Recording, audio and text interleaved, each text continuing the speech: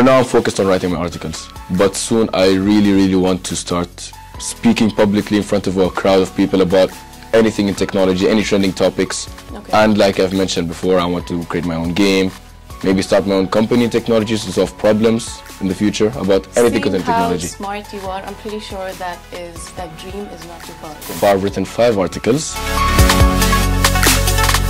My first one was released on the 5th of October. To be honest, my role model is my father. If it wasn't for my father, I would have no interest in technology at all. I would have been like any other kid. Far, I'm talking to you, and I'm really in awe of the way you speak. You have Thank such you. a commanding voice. You have such beautiful vocabulary. It's, it's honestly, in my opinion, you are.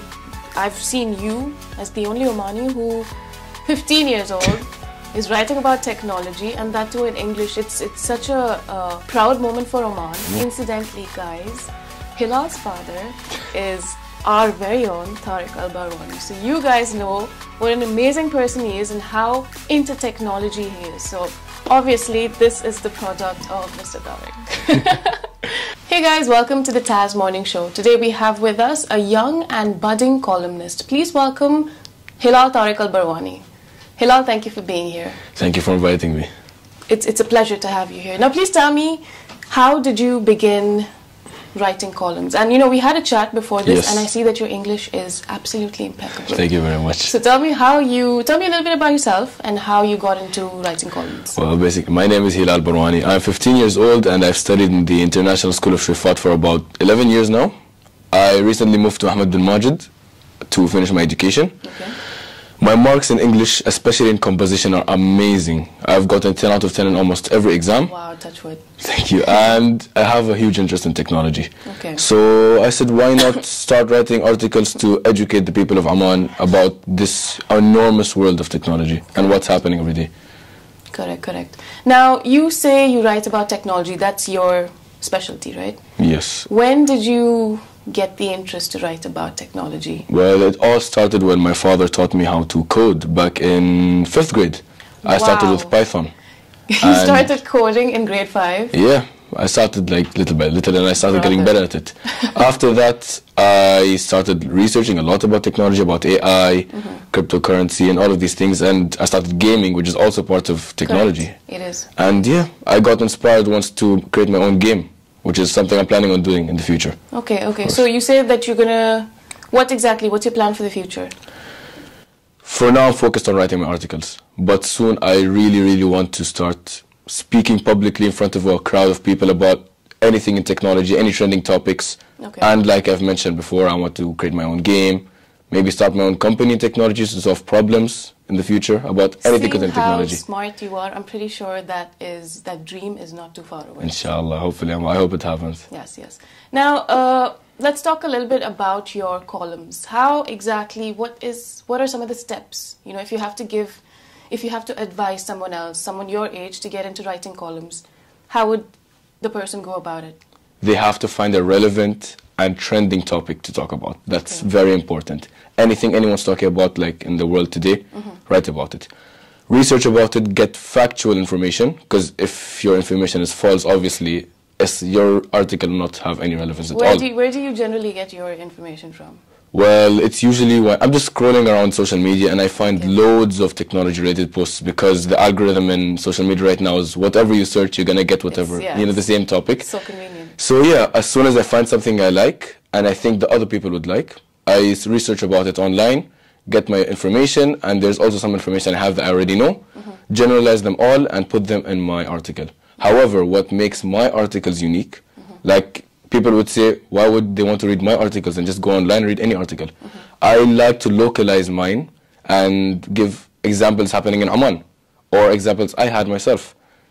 So what yeah. What are some of the? You know, I've seen some of your articles. Yes. They're absolutely great, and you know, a lot of this I even I have no idea about, like cryptocurrency and virtual reality. Or I'm not really a tech person, so Yeah. it just goes above my head. But where do you see the relevance? Like, what? Tell me some of the articles that you've written that is relevant to Oman's market. For example, you have um, the AI, artificial intelligence article.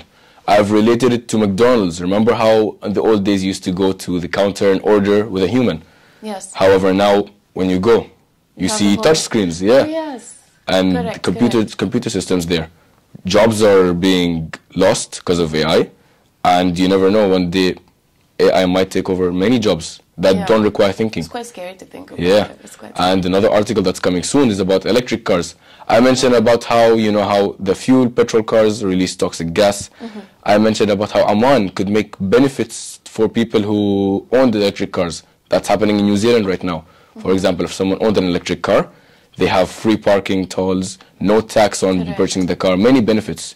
So if that happened in Oman, imagine how many people would want to buy You know, I an actually electric car. think Oman, I'm not sure if I might be wrong, but I think Oman does have an electric car. It's not being mass produced. I think it's called Maze, if I'm not wrong. I've never heard of it before. yeah, yeah. I, I saw it in one of I these expos, but I think Oman has, you know, with young minds like you, yeah, and uh, I think Oman has a bright future when it comes to the, you know, electric car. I agree. It would be amazing for them to make it. It would encourage so many Omanis to purchase an Correct. electric and it's car. so good to see you know a 15 year old Yeah. care so much about you know sustainability you know it's not like because back in the day we didn't really care much about sustainable living as Yeah. such you know now people are you know they they think talking about electric cars they're talking about uh, say no to plastic and we have like these plastic cleanups beach cleanups Of course, yeah, because our future is in hand. If we Correct. don't care about the environment, what's going to happen in the future? Correct. Everything's going to be messed up, to be honest. Correct. You know, so far I'm talking to you and I'm really in awe of the way you speak. You have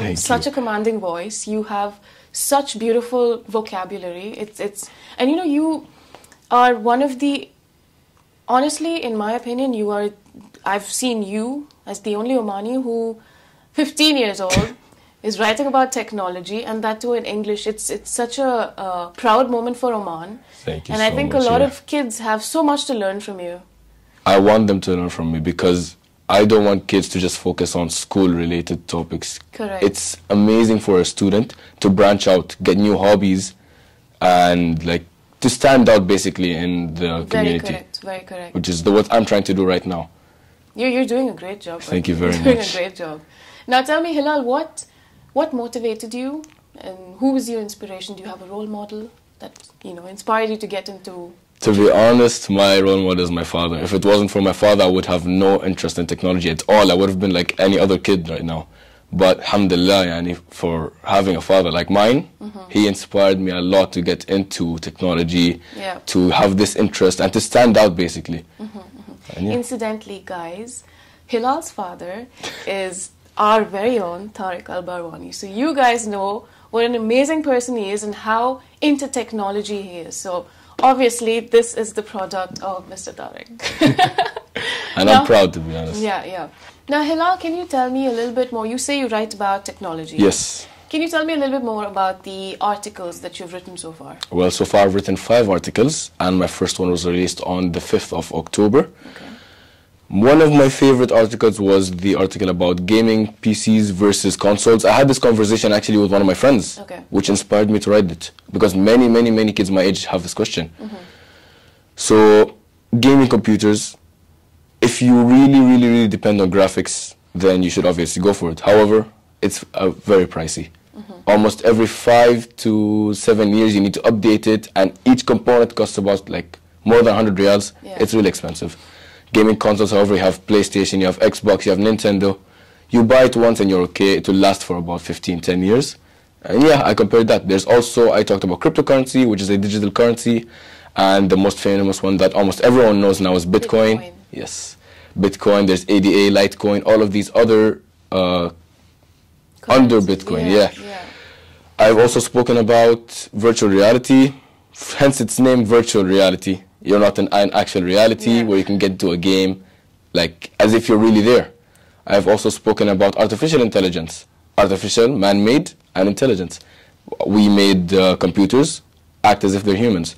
And I've also spoken about how it could potentially take so many jobs that don't require a lot of thinking. Yeah. And yeah, Quite alarming. I've also spoken about the importance of code, which basically explains how code, yani, in every app you have, there's always a background to it, an algorithm, and that background is the code, the main part of the app. These are some quite uh, intense topics. You know, when I was 15, I was talking about probably I don't know, Messi and Barbies and It's all my fashion, interest. Paris Hilton, I don't know what. But it's it's super it's it's just mind blowing to see someone your age or even you know even if I would say the same thing for a 20 year old because the topics you're talking about are so Yeah. relevant in this day and age. So Thank you very much. thank Yeah. you for that and I hope people take inspiration from you. I really hope they do. So now, uh, Hilal, lastly, can you, um, do you have any words of wisdom or any advice for kids your age? Or honestly, I think even I can learn so much from you. So, any advice for all of us? To be honest, like I've mentioned before, my main advice to every person I've spoken to that asked me for any advice, you need to stand out in this community because everyone's going to end up the same if you don't have something special with you. Correct. Any hobby, any sport you play, anything, you have to stand out in it so people look at you differently. Yeah, yeah. And you'll be a special lovely, person. lovely advice. Thank you very much. I'm I'm still shook at a 15 year old who speaks, who's so well spoken. You know, it's such a.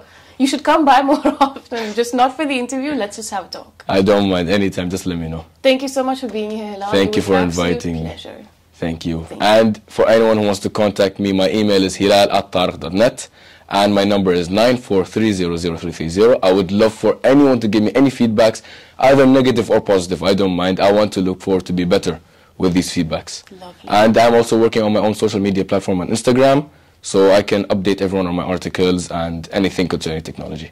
You So, heard it from the best. Any advice, any comments you have, please do contact Hilal. yes. Thank you so much for inviting me. Absolute I love this opportunity. Absolute pleasure. Thank you so much for watching the TAS Morning Show. Follow the Arabian Stories for the latest updates.